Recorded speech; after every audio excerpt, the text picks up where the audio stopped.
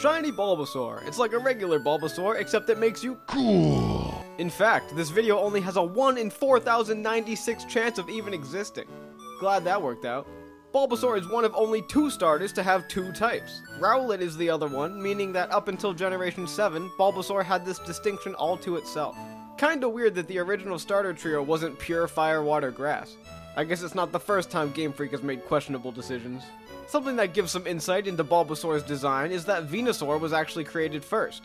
Bulbasaur and Ivysaur were worked backwards from Venusaur's design, which kinda gives some context to the weird bulb on its back. That bulb isn't even part of Bulbasaur's body. The seed is planted on its back at birth and it grows with Bulbasaur as it ages.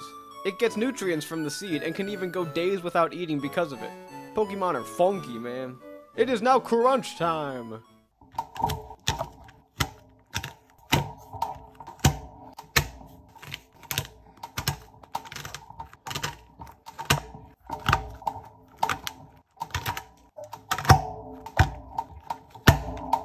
Follow for more Pokemon Perlers. See y'all in the next one.